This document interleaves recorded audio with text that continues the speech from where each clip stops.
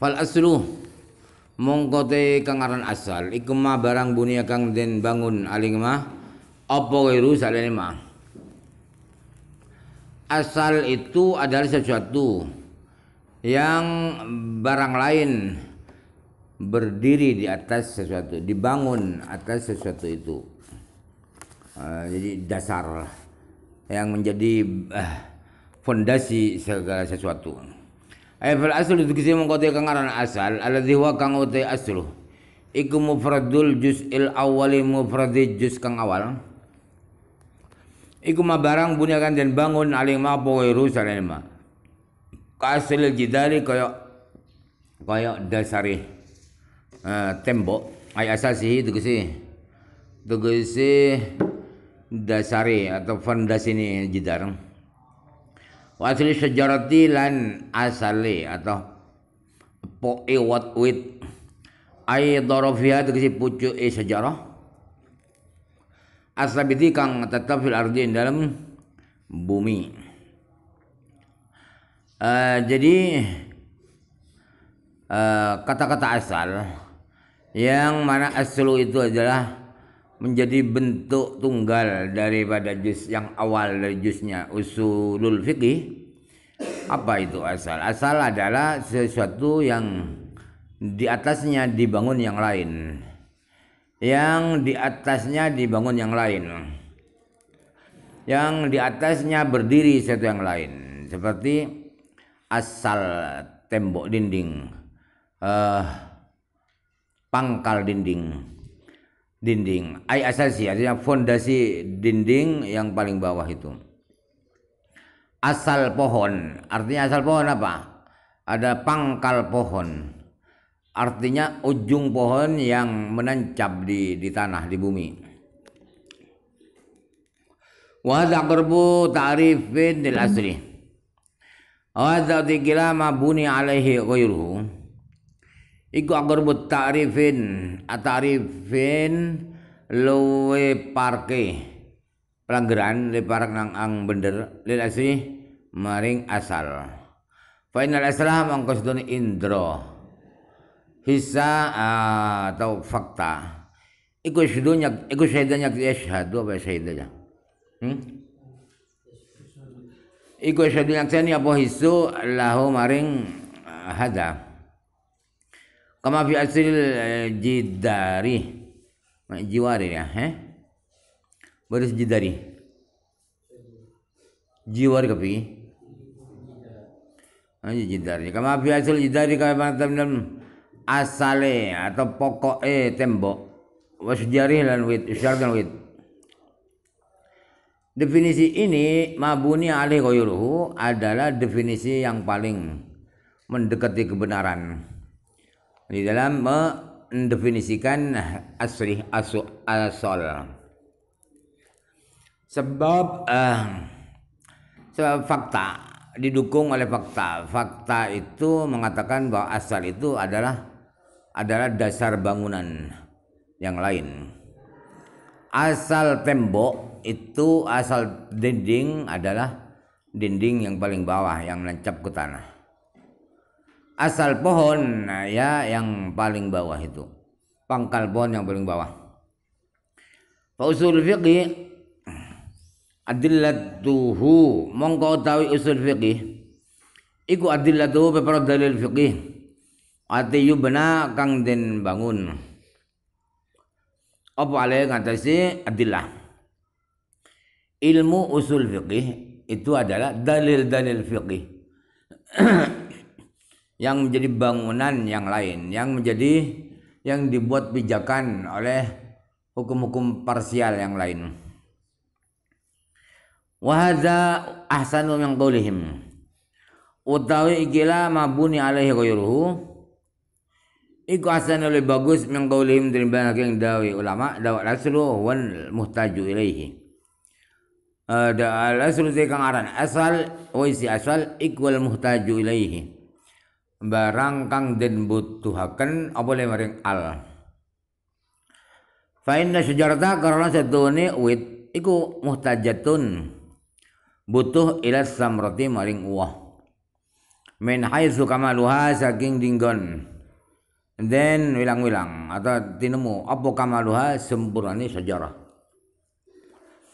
Walaisati samratu hali arana apa samratullah iku aslan dari asal sejarah tiga duit Jadi takrif di atas mabuni ala ghairuhu itu lebih baik daripada ah, ada orang mengatakan yang dimakan asal adalah sesuatu yang dibutuhkan. Sesuatu apa asal? Asal adalah sesuatu yang dibutuhkan. Itu kurang bagus. Kenapa? Karena contohnya pohon. Pohon itu membutuhkan buah. Uh, menanam pohon mangga dibutuhkan adalah buahnya. Uh, kalau mau memandang oleh sempurna, sempurnanya pohon itu ialah ketika berbuah. Walaupun tetap juga dikatakan pohon walaupun tidak berbuah. Tapi kurang sempurna. Padahal buah itu bukan menjadi asalnya pohon. Sebab buah itu uh, setelah pohonnya setelah pohon. Padahal buah itu bukan bukan pohon. Padahal pohon itu butuh buah. Nah, itu uh, yang menunjukkan uh, definisi itu kurang bagus.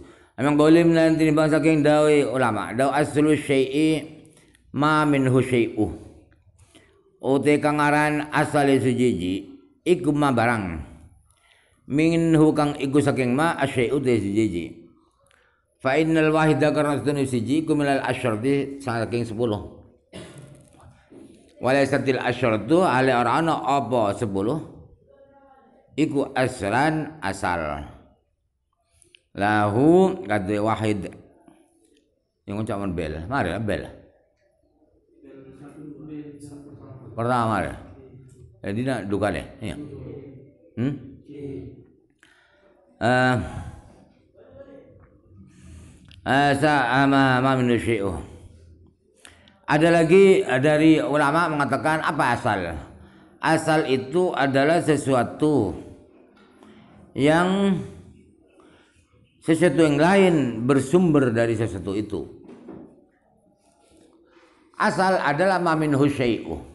Sesuatu yang sesuatu yang lain dari sesuatu tersebut itu kurang bagus definisi itu. Kenapa? Alasannya sebab contohnya satu itu adalah termasuk sepuluh. Sepuluh itu ada satu, ada dua, ada tiga. Tetapi sepuluh itu bukan bukan asalnya satu.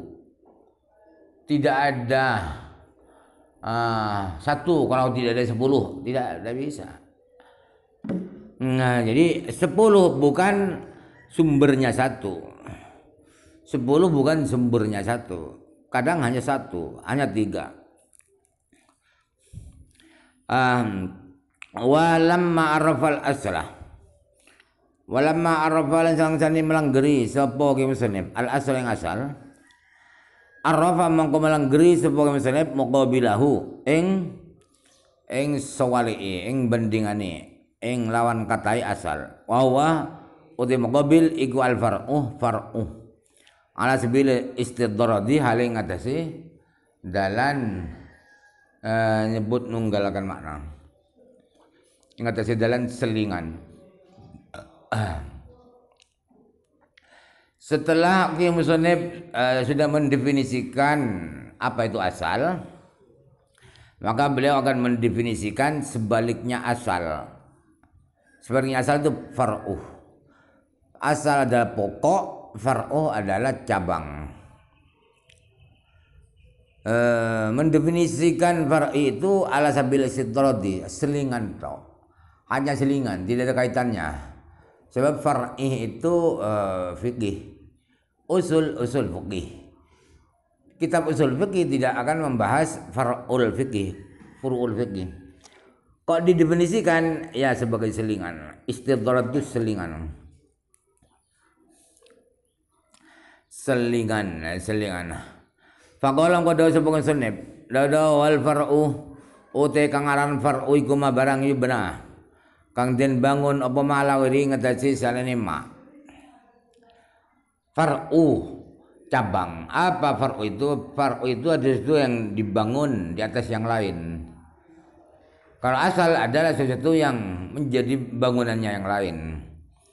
Yang yang lain berpijak pada dirinya. Itu asal tadi.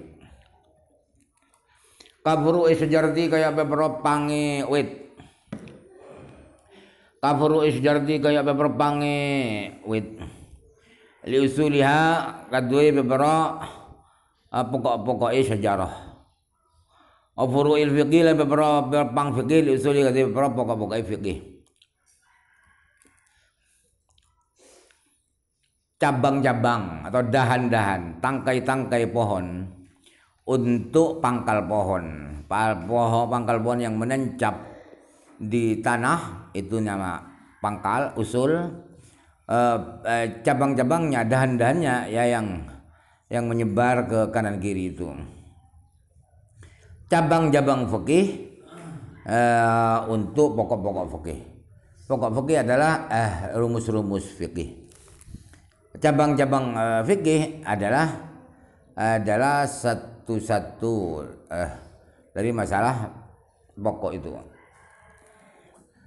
wal fiqhu tawi wal fiqhu te fiqhi alladhi wa kang te fiqhi ku al juz'u tsani juz'u memindo min lafzi usul fiqhi saking lafat usul fiqhi iku lahu kadue fiqhi maknan lugawiyun utai makna kang bangsa lugat wa wa tai maknan lugawi iku al fahmu paham fiqih kata-kata fiqih yang mana kata-kata fikih itu adalah bagian kedua daripada usulul fikih. Usuluh pertama, al fikih yang kedua. Dari asal usul fikih. Itu fikih itu ada dua pengertian. Ada pengertian uh, bahasa, ada pengertian uh, syarak. Pengertian fikih secara bahasa adalah faham, mengerti. Makna mana kemudian syarak. Wa makna syar'i iku ma'rifatul ahkami ngawure beberapa hukum. Asyar'iyyati kang punya syarak. Alati dhariqwa kang uti dalane ma'rifat. Iku ijtihad ijtihad. Makna fikih secara syarak adalah memahami mengerti hukum-hukum syarak yang metodenya yang caranya teknisnya adalah harus berijtihad berjerih payah ber memutar-mutar otak untuk mendapatkan hukum. Itu fikih secara mana syarak. Kal ilmi kaya uru bi anna niyata kalan satu niat fil wudu inna wudu iku wajibatun wajib. Bahwa niat di dalam wudu itu wajib. Eh uh, madhab syafi'i. Kesimpulannya ijtihad syafi'i mengatakan niat waktu wudu itu adalah wajib Berarti ada ulama lain yang mengatakan niat wudhu itu tidak wajib. Wa anal witr oleh doni salat itu dubun dan sunatakan. Uh, ada yang mengatakan bahwa witir itu bukan mandub tapi wajib. Imam siapa? Yang mengatakan bahwa salat witir itu wajib. Eh? Imam? Imam Abu Hanifah tapi wajib itu menurut Abu Hanifah kualitasnya di bawah fardu. Fardu ada wajib. Kalau Imam Syafi'i enggak, ya fardu ya wajib, wajib ya fardu, sama saja. Kalau Imam Abu Hanifah beda, fardu dengan wajib beda. Kalau fardu itu yang dalilnya adalah dalil pasti. Kalau wajib itu dalilnya dalil uh, dalil yang uh, kemungkinan besar. Kemungkinan besar iya. Ya wajib. Hmm. uh. wa anna tabyitan niat itu ingin apa niat. Iku syartun jadi syarat fil fisomin dalam poso Imam Syafi'i mengatakan bahwa me, uh, menginapkan niat me, uh, menaruh niat di malam hari itu di waktu berpuasa wajib Abu Hanifah tidak. Tidak harus di malam hari. Niat puasa boleh di siang hari yang penting belum belum zawal syamsi. Wa anna zakat zakat kewajibatun wajib fi mali sabiyyi dalam artane bocah cilik. Ghairu wajibatin lan ora wajib fil huriyil mubahi ing dalam pepais kang den wanangaken. Uh, mengetahui hukum syarak bahwa zakat itu wajib dizakatkan hartanya anak kecil. Ini beda. Uh, sholat anak kecil tidak wajib. Tapi Imam Syafi'i mengatakan kalau zakat anak kecil tetap wajib mengeluarkan zakat. Berarti khilaf. Ulama yang lain ada yang mengatakan anak kecil tidak wajib keluarkan zakat. Hmm, karena ilatnya beda. Kata Imam Syafi'i, sholat itu adalah karena ibadah. Ibadah itu orang tidak berakal tidak bisa beribadah. Zakat kenapa wajib? Karena zakat itu malun namin. Harta yang terus ber, berkembang biak, yang terus ber uh, makin banyak, makin besar. Walaupun yang miliki itu anak kecil, ya terus makin banyak, makin besar. Jadi alasannya karena harta zakat itu makin banyak. Bukan karena uh, ibadah. Eh, ibadah apa sosial. Zakat itu sosial. Kalau uh, apa sholat adalah uh, ritual. Apa ritualnya?